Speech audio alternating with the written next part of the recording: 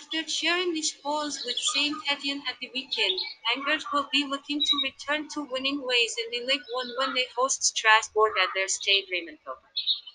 Les Scoïstes are eager to retain their spot in top 10, and we are positive that they will go for a win in the midweek clash. The likes of Amadou, Boufal, Ibasi, and Thioub are all likely to miss the game with injuries. Le Racing, on the other hand, have been scoring goals for fun of late, with the team netting six goals in total in the previous two league fixtures. Strasbourg looks sharp in front of goal, and given Angers' attacking potential, we believe that there is a big value in betting on both teams to score.